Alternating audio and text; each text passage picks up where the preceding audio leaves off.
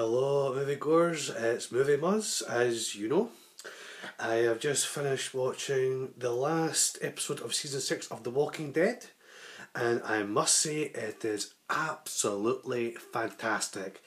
Jeffrey Dean Morgan, who has been in Grey's Anatomy, The Good Wife, and um, Supernatural as uh, as Winchester's father. He was played a blinder um, he got everybody scared, um, including Daryl, Norman Reedus. Didn't even think he could get scared, but he paid a blender of a performance. A bravo to him, and I cannot wait for the season seven.